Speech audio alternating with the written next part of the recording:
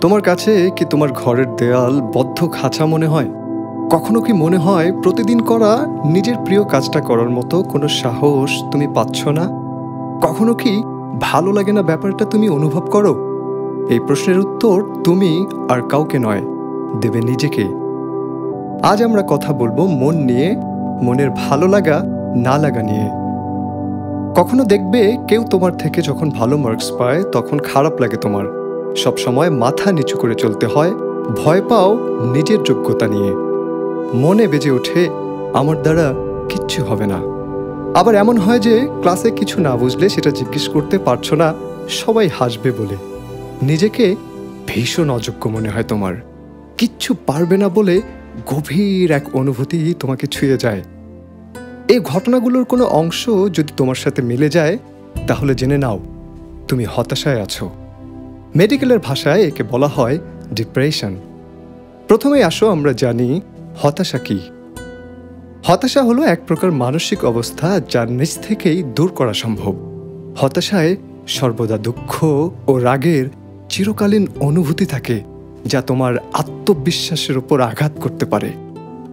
এই অনুভূতিগুলি পারিবারিক বা মানসিক সম্পর্কের উপর প্রভাব ফেলতে পারে এবং দীর্ঘস্থায়ী অসুস্থতার কারণ হতে পারে। চলো আমরা কথা বলি হতাশাগুলো চিনব কীভাবে তা নিয়ে। মাঝে মাঝেই খেয়াল করবে তুমি মন মরা হয়ে যাচ্ছ। ঘন ঘন মেজাজের পরিবর্তন হচ্ছে। কখনো কখনো পড়াশোনায় মন বসছে না। আবার দেখা গেল যে কাজের উৎসাহ হারিয়ে ফেলছো।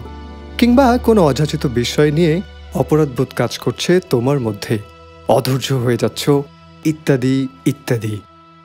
এবার আসো আমরা জানি হতাশা থেকে মুক্তির উপায়। সবার আগে তোমার দরকার পরিবারের সাথে বেশি বেশি সময় কাটানো। মনে রাখবে, সবার আগে তোমার পরিবারই তোমার পাশে দাঁড়াবে। তারপর যা করতে হবে তা হলো কথা বলা। মন খুলে কথা বলতে হবে। এমন কারোর সাথে কথা বলো যাকে তুমি সবচেয়ে বেশি ভরসা করো। হয়তো ভাবছ, আমার তো এমন কেউ নেই। যদি না থাকে, তাহলে নিজের কথাগুলো কোথাও লিখে ফেলো।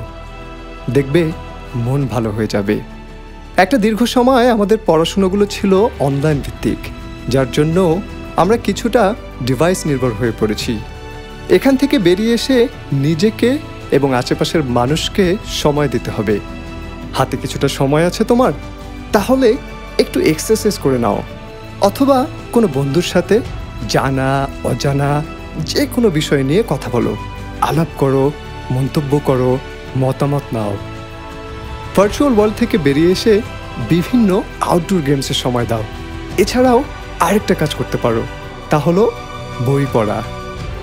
বলা হয়ে থাকে বই মানুষের সবচেয়ে কাছের বন্ধু। সর্বশেষ মনে রাখবে, পা পিছলে পড়ে যাওয়া মানেই হেরে যাওয়া নয়। ঘুরে দাঁড়াও, আবার চেষ্টা করো। জয় করো তোমার পৃথিবী।